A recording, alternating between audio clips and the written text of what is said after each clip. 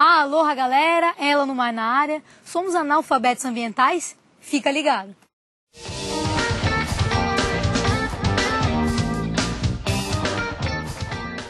Hoje eu tô aqui com o Eduardo Bueno, jornalista, tradutor, escritor, tem um canal no YouTube muito famoso, né, o Buenas Ideias. O cara conta história com muito humor. E aí eu decidi convidá-lo, conheci ele aqui em Noronha, decidi convidá-lo pra gente conversar sobre essa questão. Eu acho que a gente, a maior parte do mundo aí é analfabeto ambiental. Queria que você desse a tua opinião em relação a isso, contasse um pouquinho. Olha, é, é amedrontador, né? Porque eu, uh, eu fui meio hippie, assim, né? E falo com o maior orgulho, tal. sou meio hippie, não, 100% hippie, e a, e a, minha alma ainda é hippie. Então eu fiz parte daquela geração um pouco atrasada, porque eu nasci em 58, tá? Então, uhum. tu vê, o auge do hippismo tinha 66, 67, 68. Eu tinha 10 anos de idade, não deu tempo, cheguei um pouquinho atrasado. Mas peguei, conheci pessoas dessa geração no Brasil, uhum. pessoas proeminentes dessa geração. Sou muito amigo do Fernando Gabeira, do Nelson Mota, de um monte de gente mais velha do que eu.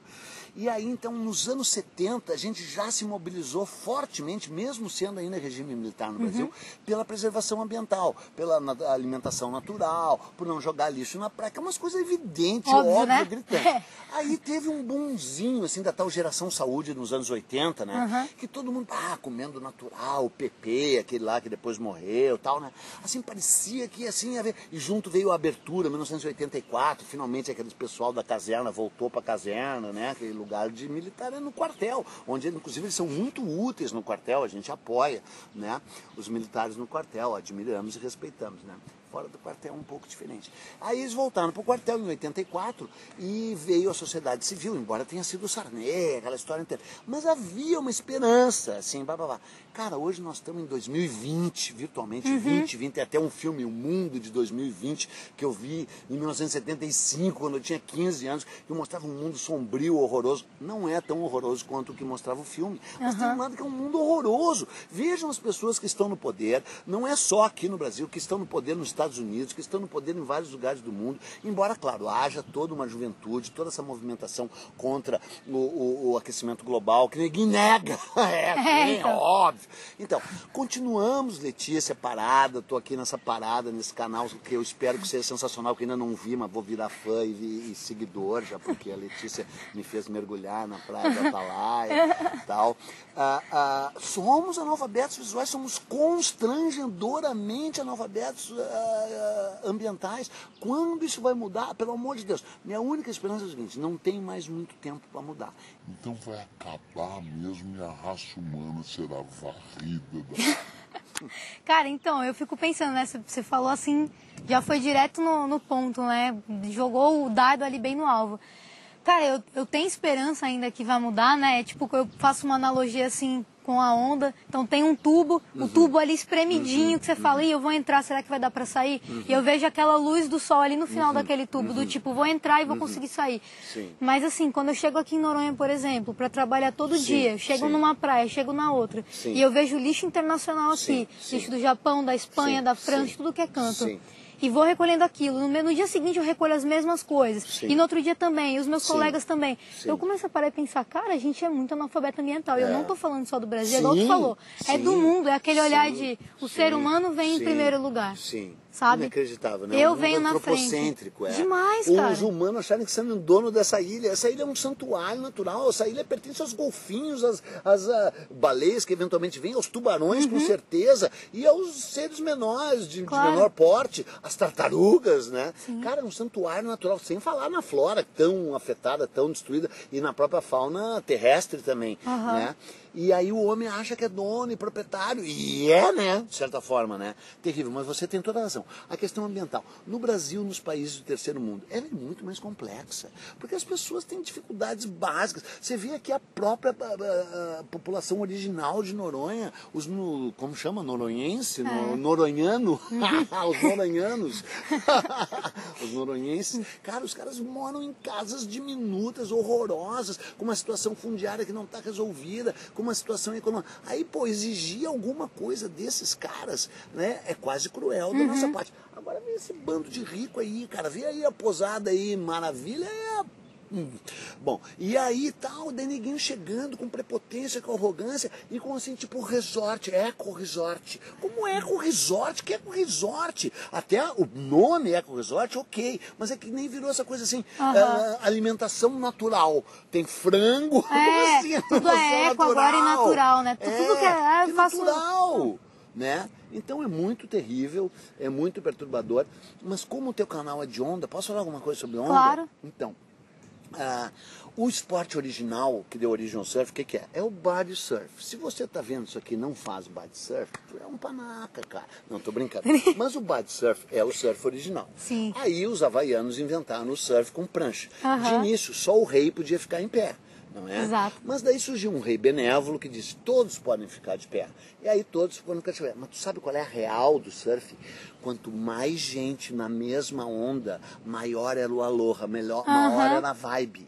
Entendeu? Não era competitivo. Não Exato. era competitivo. Era compartilhada, compartilhado. Era a sensação de vários descerem junto. Aí, é claro, dá para fazer manobra? Não dá. Mas de onde é que vem as manobras do surf? As manobras do surf vêm basicamente do skate, que é um esporte neurótico e urbano, de urbanoide. Tudo bem, o skate tem um lado legal, tem um lado maravilhoso. Também tô falando morrendo de inveja, porque eu não sou capaz de andar nem de patinete. Mas independente da minha inveja, você que é skatista, vê o grau de, assim, de agressividade que tem a manobra. Aí olha os nomes, a cortada, não sei o quê. blá, blá, blá. Rasgada, E batida. Rasgada, batida, vai rasgar e vai bater o cacete. Bom, daí os caras trouxeram isso pro mar. Além de trazer esse tipo de manobra violenta, papapá, eh, im- impositiva pro mar, ainda trouxeram a competitividade no nível de agressividade brutal, brutal na onda, sabe? E aí do tipo assim, eu me lembro dos caras assim, bah, meu irmão, muita abelha pra pouco mel, que era uma onda. Aham. Tá, E aí tu vai pegar de peito, que nem eu, que sou um estupendo, excelente. É, profissional, o cara é sou- body surfer, não, meu. Não, é, eu pego, eu pego. Ele, pe ele Pego, pega é. onda de body Não, não, pego, que pego, isso, pego. meu? Por isso que ele tá aqui no canal.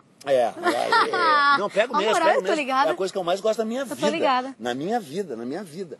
E eu queria ser melhor, mas eu sou razoavelmente Uhum. bom. E aí o, o. Tu não pode mais hoje, né? Não.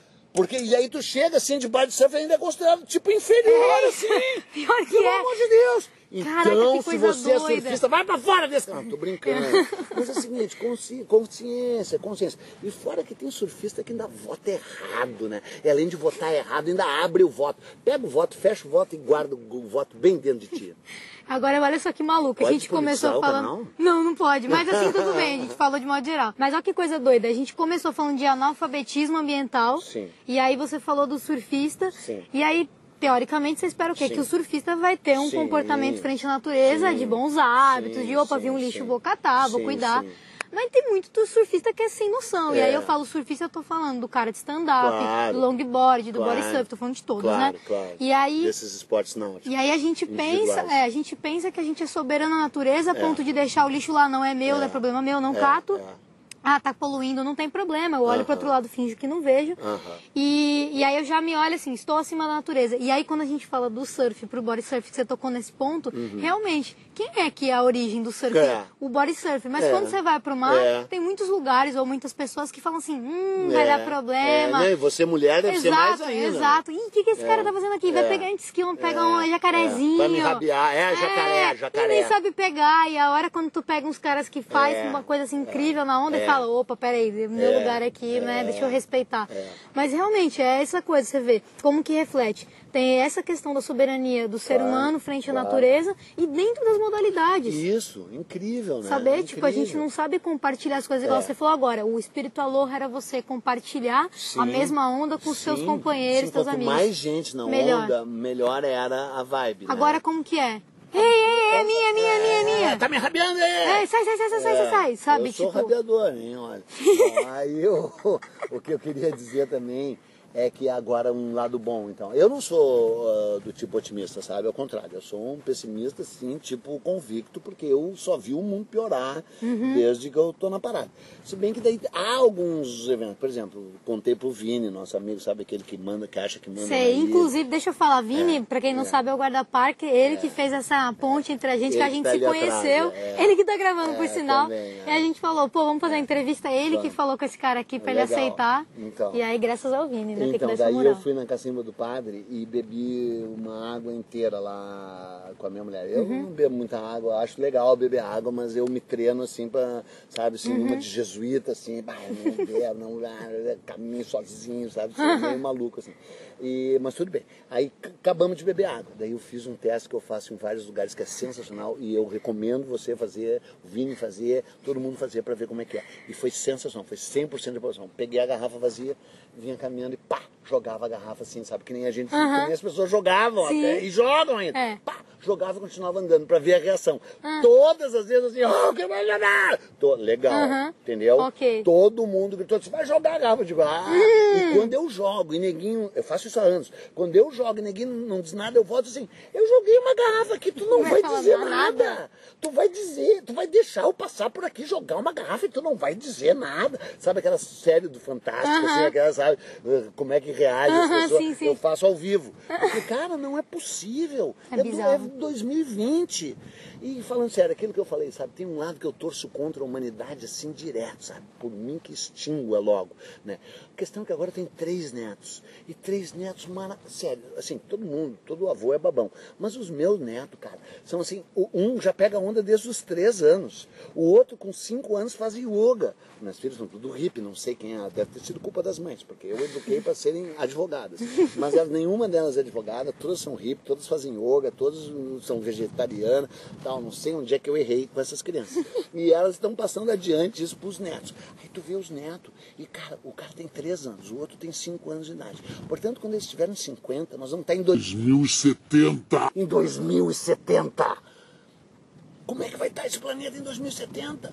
Entendeu? E de quem é a responsabilidade? É nossa, é nossa, cabe a nós. E nós que temos essa visão, essa consciência, eventualmente nós temos que ser até a mala, cara, até chato. Do tipo assim, tu vai deixar isso aí no chão? Porque não é possível. ninguém liga, é. É. Não, E assim, 2070, né? Em 2050 já tem as estatísticas Sim, dizendo que vai ter mais sim. plástico no oceano do que peixe. É. Ou seja, vai comer o quê? É. Tudo bem, pode mudar a alimentação, mas Sim. eu quero dizer assim, tipo, parece Pode que. comer plástico. É, vai comer plástico. A gente já tá comendo, né? Já É, tem várias já. pesquisas que mostram que os peixes já contêm plástico no, no estômago. Inclusive, eu fiz até um vídeo sobre isso, sobre Uhum. lixo, oceano e onda. Pra quem não assistiu, ó, vai clicar em algum canto aqui, aqui embaixo, vai aparecer o, o negocinho. Só fica aqui, ó. Uhum. É, clica Uma- num aí. lugares que tá aparecendo aqui, ó. aparece. É. Uma hora aparece. E aí, olha só, coisa maluca. Você falou, joguei a garrafa e ninguém falou nada, né? Não, mas tem falaram, Não, né? aí olha Mas- só, que coisa maluca. Eu catando lixo aqui, na- fazendo atividade, Sim. coletando, as pessoas, muitos visitantes passam, alguns ajudam, mas- ajudam, né? Mas boa parte faz assim, nossa, que trabalho bonito que vocês fazem aqui, que legal. e aí vai embora, tipo assim, e eu com três sacos de lixo pra carregar e tentando colocar mais plástico na camiseta e ninguém pra falar assim, beleza, vamos lá que eu te ajudo. Só a última semana que realmente eu vi uma galera que tava motivada a ajudar. O resto é assim, nossa, parabéns pelo seu, seu trabalho, é muito bonito isso que vocês fazem aqui, tem que preservar mesmo. E aí pisa do lado e tem um garrafão vindo do Egito ali não abaixou pra pegar. Não, é. Eu, caraca, velho, como assim, velho? É bonito o que eu faço e você não pode fazer também. É igual quando a galera fala, ah, eu, eu não, não, não vou na praia catar lixo, ou eu não tô muito ligada a essas questões, porque eu não tô em parceria com alguma ONG, com algum instituto. Não precisa, você Sim, tem mão, você sim. tem, você tem perna pra caminhar, você tem Do sacola. outro lado, caraca. claro que a gente tem que exigir um consumo consciente, consumidor. Mas é o seguinte, a gente tem que pressionar a indústria. São eles que fazem, são eles que vendem, são eles que lucram. Uhum. Entendeu? Lá na palestra apareceu lá uma baleia morta, tinha lá sopas Magi. Dá vontade Ah. de mandar um e-mail pro Magi. Ei, Magi! Ô, seu Magi, olha aí. Ah, ah, não é mole, né? Temos que ir embora, meu amor? Sim. Olha, É, ah, são vamos 10 ter- e meia, tá, temos que pegar o terminar. avião. Não, é um olha que belíssimo fim. É, chegou Que a mulher aqui, fim. é, exato, que já tem, não precisa edição. Tá na hora de pegar o voo e ir embora. E eu quero deixar um recado final. Não venha para Noronha, a não ser que você venha imbuído do pensamento altruísta, do pensamento ecológico, genuíno. E aí quando chegar aqui, ajuda a botar tudo que é turista para rua.